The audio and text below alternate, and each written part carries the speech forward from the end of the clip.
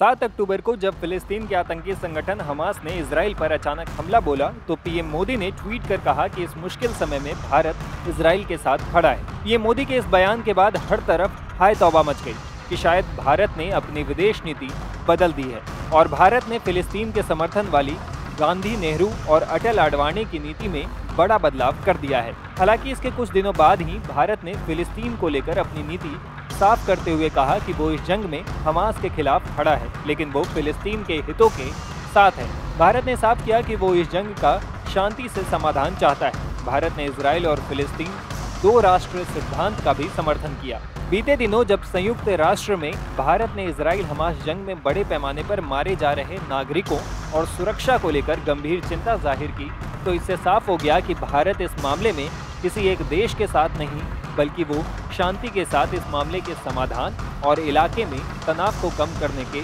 पक्ष में है। भारत ने इस मामले पर इसराइल और फिलिस्तीन के बीच तनाव कम कर सीधी बातचीत फिर से शुरू करने का आग्रह किया है। भारत ने दो राष्ट्र सिद्धांत की भी वकालत की है।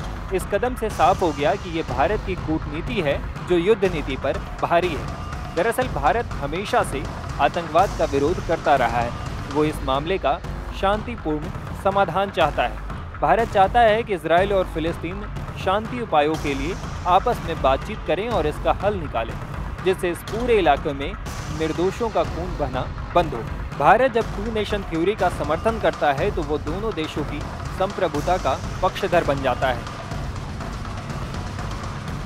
भारत ने गाजा में फिलिस्तीन के आम लोगों के लिए मानवीय मदद के रूप में 20 ट्रकों में राहत सामग्री भेजी है। गाजा को भेजी गई राहत सामग्री में 32 टन भोजन सामान जैसे कंबल टेंट स्लीपिंग बैग्स, दवाइयाँ और कई सामान भेजे। हैं एयरफोर्स का सी सत्रह विमान ये राहत सामग्री लेकर मिस्र पहुँचा, जहाँ से ट्रकों के ज़रिए इसे गाजा तक पहुँचाया गया है। भारत ने कहा है कि वो आगे भी गाजा को मानवीय मदद पहुंचाता रहेगा।